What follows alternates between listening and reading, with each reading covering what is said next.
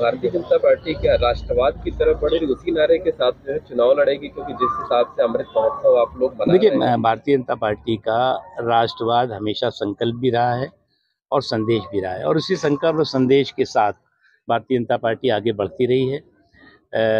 2024 हो या आने वाला कितना भी चुनौतियाँ हो या चुनाव हो उसमें जो संकल्प है वो संकल्प है दो, राष्ट्रवाद का।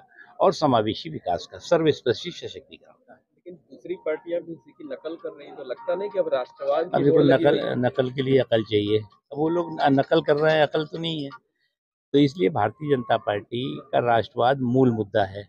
और उसकी अगर कोई नकल कर रहा है तो अच्छी बात है कम से कम वो लोग भी इस, इस रास्ते पे जा रहे हैं।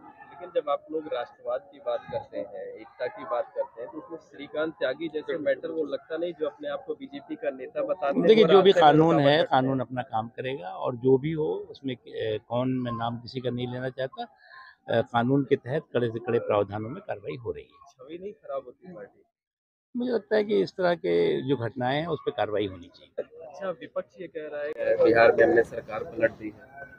देखिए मुझे लगता है कि कुछ लोगों को जो है गलत है खुश फहमी में कोई बुराई नहीं है गलत फहमी नहीं होनी चाहिए।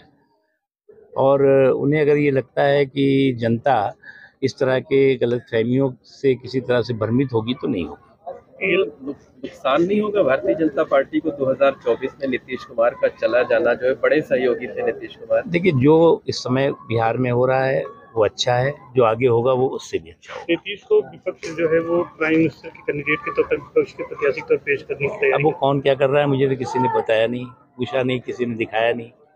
अब इस तरह की जो है वो कार्ड की हांडी चढ़ती रहती है।